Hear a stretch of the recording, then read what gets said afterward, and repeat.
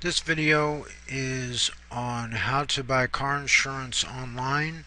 I did a Google search on this topic and got about 148 million results. We're taking a look at the first page of those results here. And as you can see, there's related searches here at the bottom on how to buy car insurance online.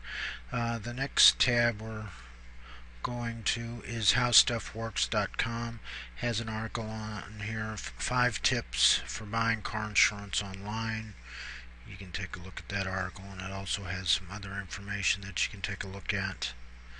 The next tab here is from 21st Century Auto. They also have an article on uh, what you need to know about an online auto insurance quote here next tab here is from Liberty Mutual Insurance, buying car insurance online. They have an article and you can get a quote here as well and they also have additional information at the bottom that you can take a look at. And the next tab here is Nationwide Car Insurance from Nationwide. Uh, get great instant auto insurance with Nationwide. How to buy instant insurance online quick for quick coverage. Uh, you can take a look at that article and they have other information on here also.